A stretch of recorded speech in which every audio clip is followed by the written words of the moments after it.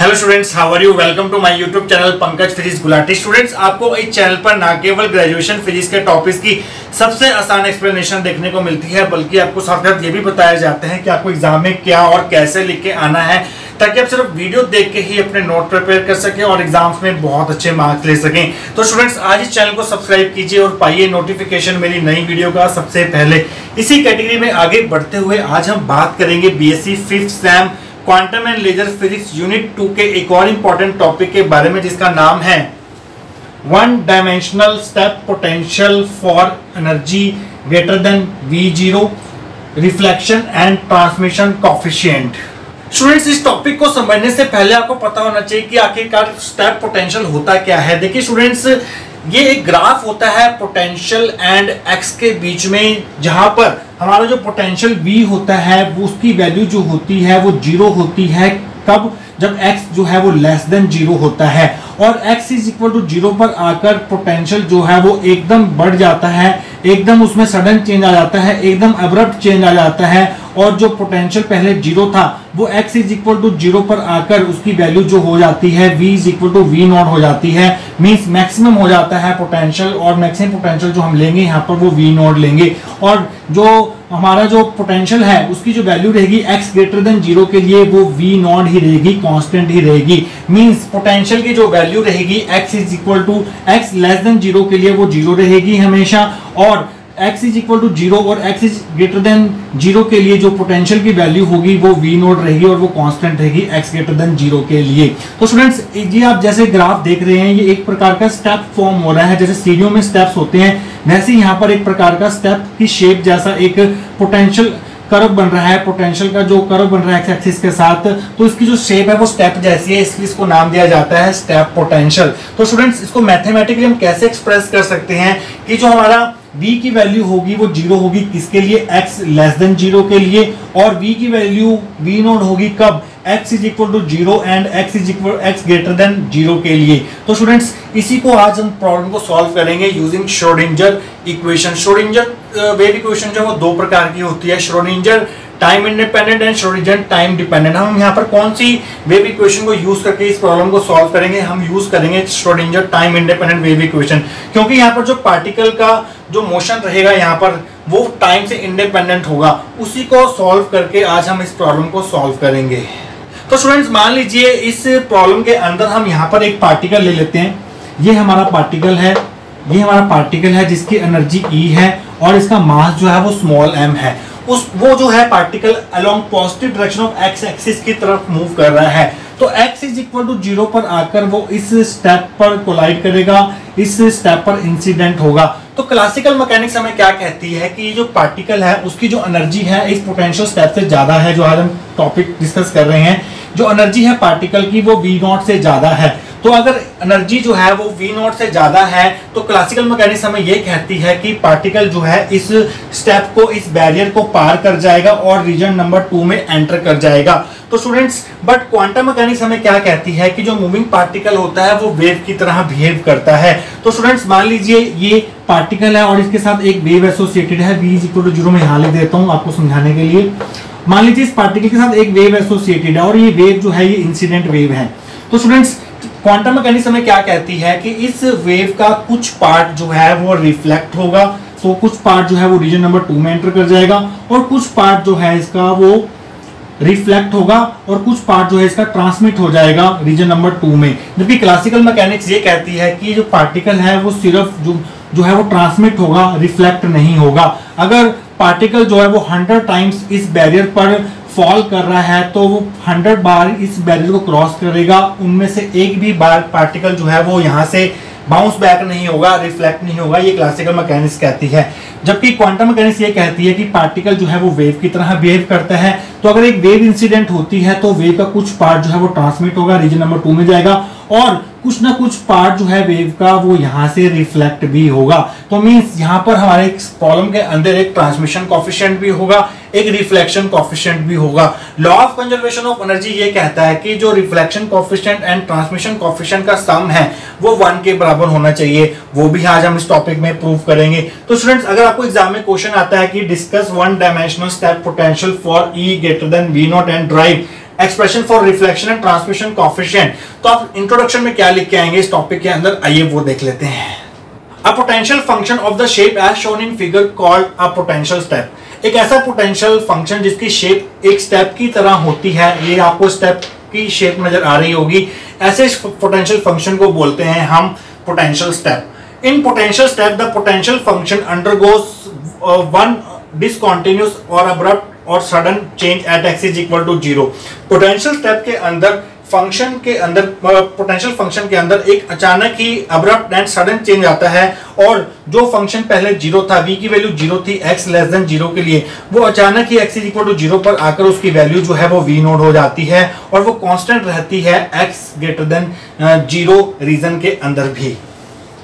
And mathematically potential function can be defined as Vx is equal to zero for x less than zero जैसा कि आप देख सकते हैं फिगर के अंदर जो पोटेंशियल है हमारा पोटेंशियल फ़ंक्शन Vx यहाँ पर जो पार्टिकल का मोशन है सिर्फ़ x एक्सिस के अलोंग है, इसलिए इसको वन डायमेंशनल स्टेप पोटेंशियल बोल रहे हैं। और इसलिए जो हमारा पोटेंशियल फ़ंक्शन होगा, वो सिर्फ़ एक ही कोऑर्डिनेट का फ़ंक्शन होगा दैट इज़ एक्स कोऑर्डिनेट तो स्टूडेंट्स यहाँ पर जो एक्स लेस देन ज़ीरो के लिए जो हमारा पोटेंशियल है, उसकी वैल्यू ज़ीरो रहेगी पोटेंशियल फ़ंक्शन की, और जब एक्स इक्वल टू ज़ीरो हो जाएगा यहाँ पर, इस बैरियर के पर, और एक्स ग्रेटर देन ज़ीरो के लिए जो पोटेंशियल की वैल्यू होगी, वो वी नॉट के बराबर होगी means V x will be equal to V not for x greater than and equal to zero Let the particle of energy E move from left to right along positive direction of x axis and incident on the step at x is equal to zero. हम एक particle assume कर लेते हैं। ये हमारा particle जिसकी energy E है और ये लेफ़्ट टू राइट जा रहा है। मींस इधर से इधर जा रहा है। Means positive direction of x x की तरफ़ जा रहा है। और ये जो पार्टिकल है, एक टाइम पर आकर इस स्टेप के ऊपर इंसिडेंट होगा। और कहाँ पर इंसिडेंट होगा? कौन सी बाउंड्री पर इंसिडेंट होगा? एक्स इज़ इक्वल टू इस x is equal to zero वाली बाउंड्री पर इंसिडेंट होगा। ये हमारा पोटेंशियल स्टेप तो क्लासिकल मैकेनिक्स क्या कहती है? According to classical mechanics the particle can penetrate the barrier and can found in the region number two that is x greater than zero क्योंकि हम यहाँ पर केस डिस्कस कर रहे हैं E greater than V not means energy of the particle is greater than the potential step V not तो classical mechanics हमें कहती है कि अगर पार्टिकल की एनर्जी पोटेंशियल स्टेप से ज़्यादा है वी नॉट से ज़्यादा है तो पार्टिकल जो है वो पेनिट्रेट कर जाएगा इस बैरियर को, यहाँ से क्रॉस करके सेकेंड रीजन में आ जाएगा।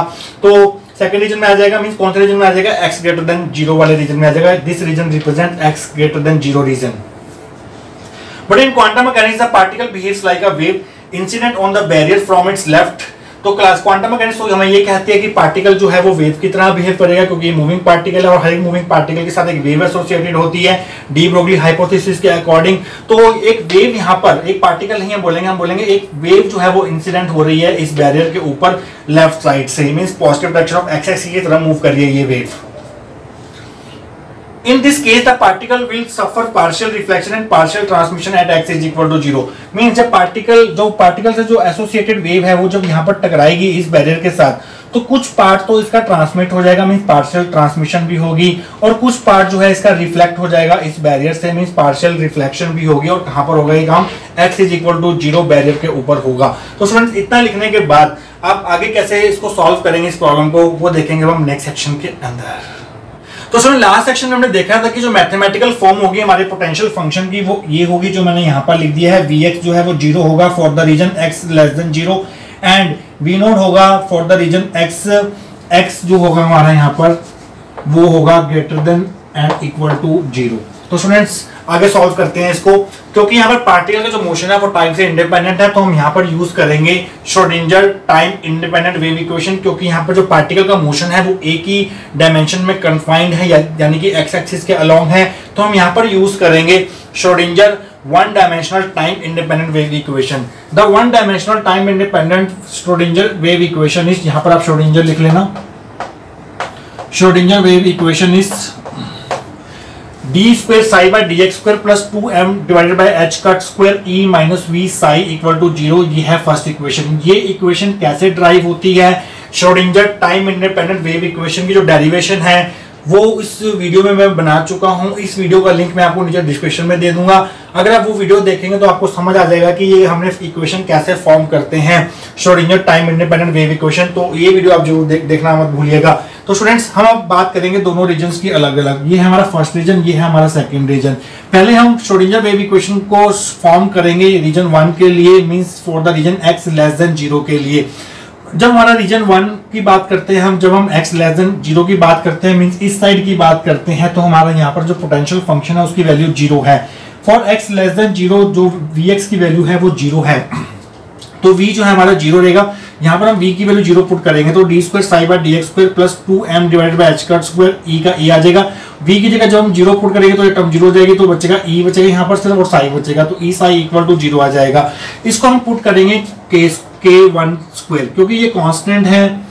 इसको हम के ही क्यों लेते हैं? इसको हम के वन स्क्वायर ही क्यों लेते हैं? आइए मैं आपको बता देता हूँ, एक बार पहले आप देख लीजिए क्या बनेगा। D square psi divided by d x square k one square psi, इस सर्कल टर्म को मैंने के वन स्क्वायर पुट कर दिया equal to zero where k one square equal to two m E divided by h cut square आइए देखते हैं कि हमने के इस कांस्टेंट टर्म को के वन स्क्वायर ही क्यों लिया। देखिए स्टूडेंट्स के जो होता है, वो वेव नंबर होता है, जिसका फॉर्मूला होता है two pi by lambda lambda यहाँ पर वेवलेंथ है और डी ब्रोगली हाइपोथेसिस के अकॉर्डिंग इस वेव के साथ जो वेवलेंथ एसोसिएटेड होगी, वो कितनी होगी? एच डिवाइडेड बाय पी इस पी को हम ऊपर लेके जाते हैं। अब हमने पी को जो है वो कनेटिक एनर्जी के टर्म्स में लिखना है। तो ई इज़ इक्वल टू होता है half m v square m से डिवाइड और मल्टीप्लाई कर दीजिए तो half m square v square divided by m आ जाएगा।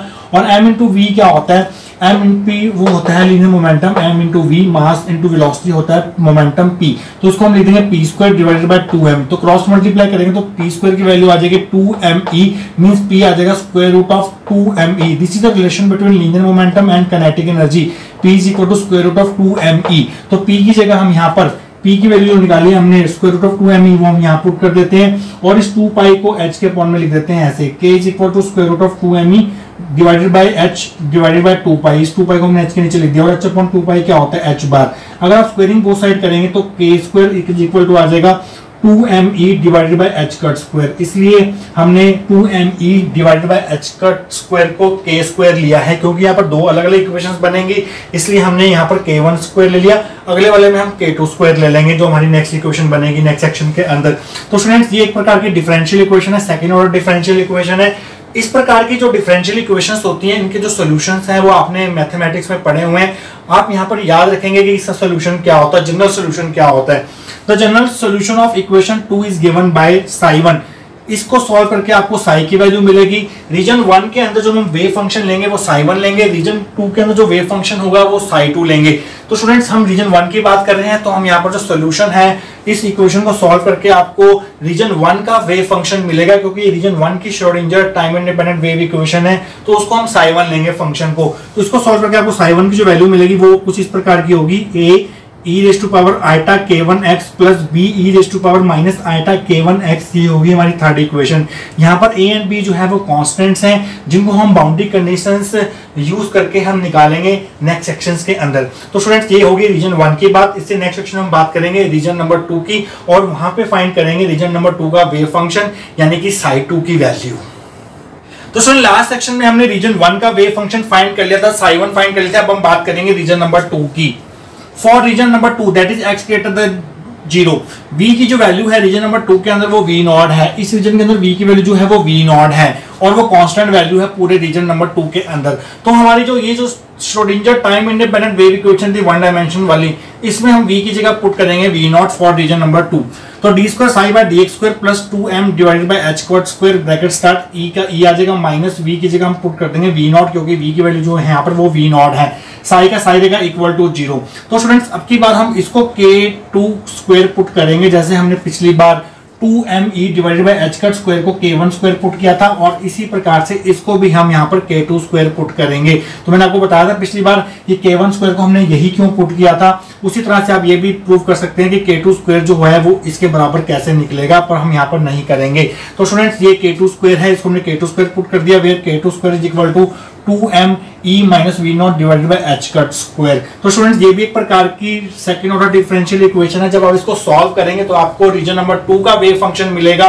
जो कि होगा साई टू तो मीन इसको सॉल्व करके आपको साई टू मिलेगी और वो जनरल सोल्यूशन जो निकल के आएगा, वो भी उसी प्रकार का होगा जैसे पिछले केस में था। तो साई टू की वैल्यू क्या होगी? C e raise to power iota k two x पिछली बार हमने के वन लिखा था, आपकी बार के टू लिखेंगे क्योंकि यहाँ पर कॉन्स्टेंट जो हमने वो के टू लिया है। तो iota k two x plus D e raise to power minus iota k two x ये होगी हमारी फिफ्थ इक्वेशन जहाँ पर सी एंड डी जो है वो कॉन्स्टेंट है, जिनको हम बाउंड्री कंडीशन यूज़ करके निकाल सकते हैं। तो स्टूडेंट्स दोनों रीजन के हमारे पास वेव फ़ंक्शन आ चुके हैं। रीजन नंबर वन का निकल चुका है। पिछले सेक्शन में साई वन निकाला था, जो कि क्वेश्चन नंबर थ्री थी। और ये थी साई टू की वैल्यू ये है रीजन नंबर टू का वेव फ़ंक्शन तो नेक्स्ट सेक्शन के अंदर हम हम बाउंड्री कंडीशन यूज़ करके ए बी सी डी की वैल्यूज़ निकालेंगे। सो स्टूडेंट्स लास्ट सेक्शन में हम वेव फ़ंक्शन निकाल चुके थे। रीजन वन का ये वेव फ़ंक्शन था साई वन और रीजन नंबर टू का ये वेव फ़ंक्शन था साई टू इसको हमने थर्ड और फोर्थ इक्वेशन दिया था। ये रीजन नंबर वन का है means x less than zero के लिए और ये एक्स ग्रेटर देन ज़ीरो के लिए है वेव फ़ंक्शन तो फ़र्स्ट टर्म जो है इस इक्वेशन की इक्वेशन नंबर थ्री की ये क्या रिप्रेजेंट कर रही है? ये रिप्रेजेंट कर रही है इस इंसिडेंट वेव को, जो कि इस बैरियर के ऊपर इंसिडेंट हुई है और ये जो वेव है along positive direction of x axis की तरफ़ जा रही है। First term A e raise to iota k one x ये वाली term of equation three represents the incident wave in region one one तो ये है ये वाली वेव मींस ये जो हमारी वेव है इंसिडेंट वेव ये इसका जो ये एम्पलीट्यूड है, वो ये होगा e raise to power iota k one x तो ये हमारी ये वाली वेव है। और जो दूसरी वेव है हमारी, दूसरा टर्म है जो हमारी इक्वेशन नंबर थ्री की second term B e raise to power minus iota k one x of equation three represents reflected wave in region one जब ये वेव इंसिडेंट होगी, इस बैरियर के ऊपर तो इसका कुछ पार्ट जो है वो रिफ्लेक्ट हो जाएगा। तो रिफ्लेक्टेड पार्ट जो होगा वो negative direction of x x की तरफ़ आएगा। जैसा कि हम माइनस साइन से देख सकते हैं, इस माइनस साइन जो है यहाँ पर सेकेंड टर्म में जो माइनस साइन है ई e की पावर में, वो ये रिप्रेजेंट कर रहा है कि ये वेव है negative direction of x axis की तरफ़ जा रही है। मीन्स ये रिफ्लेक्टेड वेव है और ये जो हमारी रिफ्लेक्टेड वेव है रीजन नंबर वन के अंदर, वो है B e raise to power minus iota k one x जो negative direction of x x की तरफ़ जा रही है, ये है reflected wave in region number one अब इसी तरह से जो फिफ्थ इक्वेशन की जो फ़र्स्ट टर्म है ये वाली C e raise to iota k two x first term C e और iota k two x of equation five represent transmitted wave in region number two जब ये वाली वेव इस बैरियर के ऊपर इंसिडेंट होगी, कुछ पार्ट तो रिफ्लेक्ट हो जाएगी negative direction of x axis में, कुछ पार्ट इसका ट्रांसमिट हो जाएगा रीजन नंबर टू के अंदर। और जो ट्रांसमिटेड पार्ट होगा, वो हमारा ये है C e raise to power iota k two x ये हमारा ट्रांसमिटेड पार्ट है। जो रीजन नंबर टू में एंटर हुआ है। इसी अंदर सेकेंड टर्म जो हमारी सेकंड टर्म है D e raise minus iota k two x of equation number five ये क्या रिप्रेजेंट कर है? ये रिप्रेजेंट कर है reflected wave in region number two देखिए स्टूडेंट्स रीजन नंबर टू के अंदर कोई भी डिसकॉन्टिन्यूटी नहीं है जो इस वेव को रिफ्लेक्ट कर सके मीन्स जहाँ पर रीजन नंबर टू के अंदर कोई भी रिफ्लेक्शन नहीं होगा वेव का मीन जो रिफ्लेक्टेड पार्ट होगा रीजन नंबर टू के अंदर, जो कि इस टर्म के द्वारा रिप्रेजेंट किया जा रहा है रीजन नंबर टू के अंदर, सिर्फ़ एक ही वेव है ट्रांसमिटेड वेव जो positive direction of x x की तरफ़ जा रही है। रीजन नंबर टू के अंदर कोई भी ऐसी वेव नहीं है, जो negative direction of x x की तरफ़ जा रही हो मीन ऐसी कोई भी वेव नहीं है, जो रिफ्लेक्ट होकर वापस आ रही हो negative direction of x x की तरफ़ जा रही हो। तो इसका मतलब यह है कि जो टर्म टू होगी हमारे पास इक्वेशन नंबर फाइव की वो ज़ीरो होगी। अगर टर्म टू ज़ीरो है D e raise power minus iota k two x zero है तो मीन डी जो जो होगा वो ज़ीरो आ जाएगा। तो इक्वेशन नंबर फाइव में ये जो टर्म होगी, ये ज़ीरो हो जाएगी और इक्वेशन नंबर फाइव जो है वो रिड्यूस हो जाएगी किसमें? हमारे पास इक्वेशन नंबर फाइव सिर्फ़ इतनी रह जाएगी psi two is equal to C e raise power iota k two x ये वाला पार्ट ज़ीरो हो जाएगा क्योंकि रीजन नंबर टू के अंदर डिस्कॉन्टिन्यूटी नहीं है, वहाँ पर रिफ्लेक्शन नहीं होगी। As there is no discontinuity in region number 2 so there is no reflected wave in region number 2 so जो reflected part है हमारा, जो ये टर्म टू रिप्रेजेंट कर रही है रीजन नंबर टू के अंदर, वो ज़ीरो हो जाएगा मींस डी जो है वो ज़ीरो हो जाएगा, क्योंकि ये वाली टर्म जो है exponential minus iota k two x जो है वो ज़ीरो नहीं हो सकता, इसका मतलब डी ज़ीरो होगा। So equation five becomes psi two is equal to C e raise power iota k two x D वाली टर्म ज़ीरो होगी, इसको देखिए हमने इक्वेशन नंबर सिक्स अब जो हमारा वेव फ़ंक्शन है, वो कॉन्टिन्यूस है। रीजन नंबर वन का जो वे फ़ंक्शन है वो साई वन है और रीजन नंबर टू का जो वे फ़ंक्शन है वो साई टू है। साई वन और साई टू बराबर होंगे कहाँ पर? X is equal to zero पर। तो स्टूडेंट्स ये वाली कंडीशन लगाकर हम रिलेशन फाइंड कर सकते हैं ए बी सी के बीच में। At x is equal to zero psi one equal to psi two तो स्टूडेंट साई वन हमारा ये है साई टू अपने ये वाला लेना है। तो स्टूडेंट्स थर्ड और सिक्स इक्वेशन में एक्स की वैल्यू जो है वो ज़ीरो पुट कर दीजिए, फिर इन वेव फंक्शनों को इक्वल रख दीजिए। तो स्टूडेंट्स जब आप एक्स की वैल्यू ज़ीरो पुट करेंगे थर्ड इक्वेशन के अंदर तो ये बन जाएगा a e raised power zero plus b e की पावर ज़ीरो इक्वल टू हो जाएगा फ़ंक्शन साई टू के। साई टू में कब इक्वल होगा? जब एक्स की पावर आप ज़ीरो पुट करेंगे यहाँ पर तो c e raise to power zero हो जाएगा। E raise to power zero one होता है तो ये आ जाएगा a plus b equal to c ये हो जाएगी हमारी सेवंथ इक्वेशन ऐसी एक और इक्वेशन फॉर्म करेंगे, दूसरी बाउंड्री कंडीशन यूज़ करके, और ये देखेंगे हम नेक्स्ट सेक्शन के अंदर। सो स्टूडेंट्स हमने लास्ट सेक्शन में पढ़ा था, जब x is equal to zero होगा तो psi one equal to psi two होगा। सिमिलरली अगर psi one equal to psi two है, x is equal to zero पर तो उनके डेरिवेटिव्स भी जो है, वो इक्वल होंगे at x is equal to zero तो इस कंडीशन को हम ऐसे भी लिख सकते हैं so x at x is equal to zero d psi one by d x is equal to d psi two by d x इसको दे दिया हमने एट्थ इक्वेशन तो पहले हमें d psi one by d x की value put करनी value find करनी पड़ेगी। फिर d psi two by d x की वैल्यू फाइंड करनी पड़ेगी, फिर उनमें x is equal to zero put करके इन दोनों को इक्वल रखना पड़ेगा। और साई वन साई टू हमने निकाल चुके थे पिछले सेक्शन में थर्ड और सिक्स इक्वेशन के अंदर। तो पहले हम इसका डेरिवेटिव करते हैं x के रिस्पेक्ट में to get d psi 1 by dx so differentiating equation 3 with respect to x तो d psi 1 by dx is equal to हो जाएगा ए हमारा कॉन्स्टेंट है, ऐसे रहेगा e raise to power ax का जो डेरिवेटिव होता है derivative of e raise to power a x वो होता है ए इंटू ई की पावर ax तो वही फॉर्मूला लगाते हुए डिफरेंशिएशन का e की power iota k one x का डिफरेंशिएशन करते हैं, यहाँ पर ए जो है हमारा वो आयटा के वन है। तो आयटा के वन आगे आ जाएगा e की power iota k one x ऐसी रहेगी। तो स्टूडेंट्स प्लस बी और यहाँ पर जो हमारा ए है वो माइनस आइटा के वन है तो जब वो आगे आएगा माइनस आइटा के वन तो यहाँ माइनस साइन हो जाएगा। और e की power minus iota k one x ऐसे ही रहेगा। यहाँ से iota k one iota k one common ले लेते हैं तो अंदर बचेगा ई e की power iota k one x minus b e की power minus iota k one x ये होगी हमारी नाइन्थ इक्वेशन जैसे हमने थर्ड को डिफ्रेंशिएट किया एक्स के रिस्पेक्ट में to find D psi one by D x उसी तरह से हम सिक्स इक्वेशन को एक्स के रिस्पेक्ट में डिफ्रेंशिएट कर सकते हैं to get D psi two by D x so differentiating equation number six with respect to x differentiating six with respect to x तो D psi two by D x is equal to ई की C हमारा constant है, वो हमारा ऐसे रहेगा। ई e की power ए x का जो डिफ्रेंशिएशन होता है, वो होता है ए इंटू ई की पावर ए एक्स तो ए हमारे यहाँ पर आयटा के टू है तो आयटा के टू आगे आ जाएगा। ए की power iota k two x ये हमारी टेंथ इक्वेशन अब हम एट्थ इक्वेशन की जो हमारी बाउंड्री कंडीशन निकली हुई ये वाली, अब हम उसको नाइन्थ और टेंथ में पुट करेंगे. मीन्स कैसे करेंगे? पहले हम x is equal to zero put करेंगे यहाँ पर भी और यहाँ पर भी. और फिर हम दोनों वे फ़ंक्शन को इक्वल रख देंगे, क्योंकि डेरिवेटिव जो है d psi one by d x and d psi two by d x वो x is equal to zero पर इक्वल होंगे. तो पुट करते हैं students using eight in nine and ten तो क्या मिलेगा आपको? आयटा के वन ऐसे रहेगा. अंदर क्या बचेगा? ए ई की पावर जब आप एक्स का ज़ीरो पुट करेंगे तो ये पावर जो है पूरी की पूरी ज़ीरो जाएगी। माइनस बी जब आप यहाँ पर एक्स का ज़ीरो पुट करेंगे तो पावर जो है वो ज़ीरो जाएगी।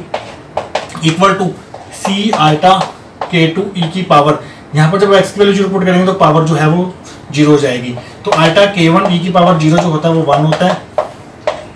Equal to C alpha K two तो आल्टा से आल्टा कैंसिल कर देते हैं। तो के वन इक्वल टू आ जाएगा ए माइनस बी और इक्वल टू आ जाएगा सी तो स्टूडेंट्स इस ये होगी हमारी next equation equation number eleven तो इसकी जो बाद के स्टेप्स हैं, वो हम करेंगे नेक्स्ट सेक्शन के अंदर.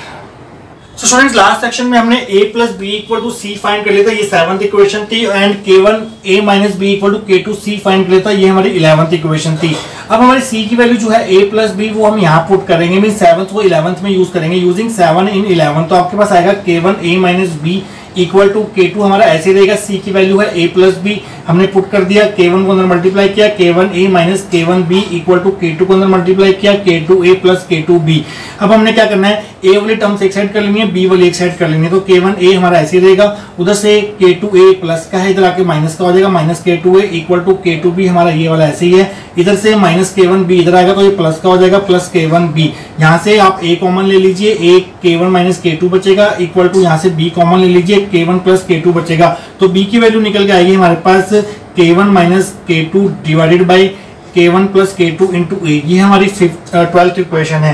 यूजिंग ट्वेल्व इन सेवन अब हम यहाँ फाइंड करेंगे, यहाँ पुट करेंगे बी की वैल्यू जो हमारी ये निकली है ए की टर्म्स में. तो यूजिंग ट्वेल्व इन सेवन तो सेवन इक्वेशन हमारी ए प्लस बी की वैल्यू ये वाली. K one minus k two divided by k one plus k two into a हमने यहाँ पुट कर दी बी की वैल्यू यहाँ पर equal to c a common ले लिया ए कॉमन आएगा तो अंदर k one plus k two LCM आ जाएगा के वन प्लस के टू जो है जब यहाँ पर वन आ जाएगा, जब ए कॉमन लेंगे तो वन से जब मल्टीप्लाई होगा तो k one plus k two plus k one minus k two आ जाएगा और के टू से के टू कैंसिल हो जाएगा तो हमारे पास बचेगा के वन प्लस के वन हो जाएगा ट्वाइस ऑफ़ के वन साथ में ए है divided by k one plus k two है और ये है इक्वल टू सी तो हमारे पास सी की वैल्यू आ चुकी है, ये है हमारी थर्टींथ इक्वेशन तो हमने स्टूडेंट्स बी की वैल्यू भी ए की टर्म्स में फाइंड कर ली और सी की वैल्यू भी ए की टर्म्स में फाइंड कर ली. इसके बाद हम देखेंगे कि इस टॉपिक के अंदर रिफ्लेक्शन कॉफिशेंट क्या होगा और ट्रांसमिशन कॉफिशेंट क्या होगा और उन दोनों का जो रिलेशन होगा उनमें वो क्या निकल के आएगा, ये देखेंगे हम नेक्स्ट सेक्शन के अंदर. तो स्टूडेंट लास्ट सेक्शन में हम बी की वैल्यू निकाल चुके थे ए के टर्म्स में, ये थी हमारी इक्वेशन नंबर 12 और सी की वैल्यू हम ए के टर्म्स में निकाल चुके थे, ये थी हमारी इक्वेशन नंबर 13 तो स्टूडेंट्स अब हम निकालेंगे reflection coefficient r reflection coefficient जो होता है, वो रेशियो होता है मैग्नीट्यूड ऑफ़ रिफ्लेक्टेड करंट का। To the magnitude of incident current का मींस आपने कितने इंसिडेंट वेव कितनी इंसिडेंट आई, कितनी इंटेंसिटी की इंसिडेंट वेव आई और कितनी इंटेंसिटी की वेव जो है वो रिफ्लेक्ट हुई। मींस अगर आपने 100 पार्टिकल्स इंसिडेंट करवाए इस बैरियर के ऊपर तो उसमें से कितने रिफ्लेक्ट हो गए तो मींस कितने, मान लीजिए 20 रिफ्लेक्ट हो गए तो आपके पास जो रिफ्लेक्शन कॉफिशियंट बनेगा, वो बनेगा 20 बाय 100 क्योंकि आपके 100 पार्टिकल्स इंसिडेंट करवाए तो 20 रिफ्लेक्ट हो गए। तो उसी तरह से हम आर की वैल्यू जो, जो है मैग्नीट्यूड ऑफ़ रिफ्लेक्टेड करंट को हम डिनोट करेंगे जे से जे रिफ्लेक्टेड जो क्योंकि जो करंट डेंसिटी होती है क्वांटम मैकेनिक्स के अंदर उसको हम जे से डिनोट करते हैं। यह रिफ्लेक्टेड करंट डेंसिटी और यह incident current density mean J incident अब जे रिफ्लेक्टेड जे इंसिडेंट की वैल्यू कितनी होगी ये स्टूडेंट्स आपको याद रखनी है, क्योंकि जो इसकी डेरिवेशन हो जाएगी तो बहुत लंबा टॉपिक बन जाएगा ये। इस चीज़ आप याद कर लीजिए, बहुत ईजी है याद करना। जे इंसिडेंट जो होगा, हमारे पास जो इंसिडेंट वेव थी ए इंटू ई की power iota k one x थी। यहाँ पर इसका जो एम्पलीट्यूड था इंसिडेंट वेव का, वो ए था। तो इंटेंसिटी क्या होता है? एम्पलीट्यूड का स्क्वायर तो इंसिडेंट करंट डेंसिटी क्या हो जाएगी? एम्पलीट्यूड का स्क्वायर ए का स्क्वायर इंसिडेंट वेव का जो एम्पलीट्यूड है, वो ए है तो उसकी इंटेंसिटी ए स्क्वायर हो जाएगी। साथ में आएगा P1 P1 क्या है यहाँ पर? M जो है, वो मास है। P1 क्या है? देखिए स्टूडेंट्स k होता है टू पाई बाय लैम्डा और लैम्डा होता है h बाई पी ये p ऊपर चला जाएगा तो two pi p by h आ जाएगा। इस टू पाई को आप नीचे ले आइए। तो h अपॉन टू पाई बन जाएगा h कट तो k की वैल्यू आ गई p अपॉन h कट तो k आ जाएगा पी अपॉन एच कट तो मीन पी आ गया के एच कट। तो पी वन क्या होगा? पी वन होगा हमारे पास के वन इंटू एच कट क्योंकि जो पहला रीजन है उसमें जो हमने वे, वेव नंबर लिया था वो के वन लिया था और रीजन नंबर टू के लिए हमने वेव नंबर जो है वो के टू लिया था। तो P1 वन यहाँ पर यहाँ पर K1 एच कट है, वो आप यहाँ पे मेंशन कर सकते हैं कि P1 हमारा K1 एच कट है। इसी तरह से जो रिफ्लेक्टेड करंट डेंसिटी होगी, वो कितनी होगी? हमारी जो रिफ्लेक्टेड वेव थी रीजन नंबर वन में, वो थी b e raised minus iota k one x और रिफ्लेक्टेड वेव का एम्पलीट्यूड था, वो था बी तो रिफ्लेक्टेड वेव की इंटेंसिटी कितनी होगी? मॉड ऑफ़ बी स्क्वायर तो स्टूडेंट्स इसी तरह से आपने P1 लिखना है, क्योंकि रीजन नंबर वन की बात हो रही है, और रीजन नंबर वन का जो वेव वेक्टर है, वो K1 है। तो P1 है K1 एच कट और M दो है ऐसे ही आएगा। तो ये वैल्यू जो आपने incident current density reflected current density आपने याद रखनी है। तो ये वैल्यू जो है आपने सब्सिट्यूट कर देनी है यहाँ पर। जे रिफ्लेक्टेड की जगह आपने ये वैल्यू पुट कर देनी है और जे इंसिडेंट की जगह आपने ये वैल्यू पुट कर देनी है। तो ये टर्म कैंसिल हो जाएगी। तो mod of b square divided by mod of a square आ जाएगा। बी की वैल्यू आपने निकाली हुई है ट्वेल्थ इक्वेशन में लास्ट सेक्शन में k one minus k two divide by k one plus k two into a वो आपने यहाँ पुट कर देनी है। बी की value k one minus k two divide by k one plus k two into a और ये mod ऐसे ही लगा रहेगा आप k one minus k two का स्क्वायर ऐसे कर दीजिए k one plus k two का स्क्वायर कर दीजिए और साथ में मॉड ऑफ़ ए स्क्वायर कर दीजिए। मॉड ऑफ़ ए स्क्वायर से mod of A square cut जाएगा तो आर की वैल्यू आ जाएगी रिफ्लेक्शन कॉफिशियंट की वैल्यू आ जाएगी k one minus k two का square divided by k one plus k two का स्क्वायर इसको हम दे देंगे फोर्टीन इक्वेशन इसे नेक्स्ट सेक्शन में हम निकालेंगे ट्रांसमिशन कॉफिशियंट और फिर रिलेशन चेक करेंगे कि reflection coefficient and transmission coefficient में क्या रिलेशन निकल के आएगा। तो स्टूडेंट आइए अब निकालते हैं ट्रांसमिशन कॉफिशियंट जो कि रेशो होता है मैग्नीट्यूड ऑफ़ ट्रांसमिटेड करंट का और मैग्नीट्यूड ऑफ़ इंसिडेंट करंट का। तो मैग्नीट्यूड ऑफ़ ट्रांसमिटेड करंट को हम कैसे डिनोट करेंगे? जे ट्रांसमिटेड से और मैग्नीट्यूड ऑफ़ इंसिडेंट करंट को वैसे डिनोट करेंगे जैसे हमने पिछले केस में किया था जे इंसिडेंट से। जे ट्रांसमिशन जे ट्रांसमिटेड कितना होगा? ट्रांसमिटेड करंट डेंसिटी कितनी होगी? देखिए स्टूडेंट जैसे हमने जे इंसिडेंट जे रिफ्लेक्टेड लिखा था उसी तरह से जे ट्रांसमिटेड लिखेंगे। बस P1 की जगह P2 आ जाएगा क्योंकि P1 था हमारा K1 एचकट K1 वेव वेक्टर था। हमारे पास फ़र्स्ट uh, रीजन का जबकि सेकेंड रीजन का जो वेव वेक्टर है वो K2 है। तो P2 जो होगा हमारे पास वो होगा K2 एच कट तो P2 हमारा K2 एच कट होगा।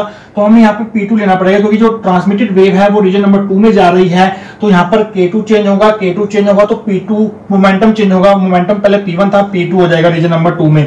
M सेम रहेगा, और यहाँ पर आएगा हमारे पास एम्पलीट्यूड का स्क्वायर किसका ट्रांसमिटेड वेव का। ये थी हमारी transmitted wave c iota k two x इसका एम्पलीट्यूड सी था।